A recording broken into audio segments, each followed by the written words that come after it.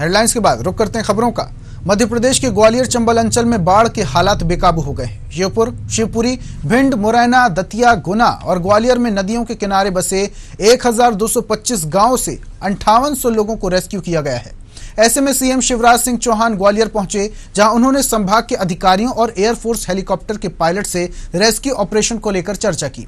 CM Shivraj Gwalior, Shivpuri, Datia और श्योपुर ज़िले के रेठौरा, मारकोनी, नरवर पुलहा, जातखेड़ा समेत कई क्षेत्रों का हवाई सर्वे करने के लिए हेलीकॉप्टर से रवाना हुए। बता दें कि जिला प्रशासन की ओर से बाढ़ प्रभावितों की मदद के लिए चलाए जा रहे राहत और बचाव कार्य में सेना भी सहयोग करेगी।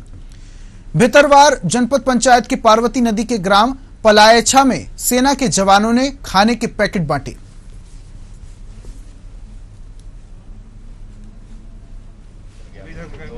हमारी लगातार बात, कलेक्टर साहब लगातार बात हुई अब कोई तो आपने उनको अच्छा बुला लिया था गवर्नमेंट ऑफ़ इंडिया वालों को ये था। अब उनसे बात होगी सर अपने अपने हैं सर।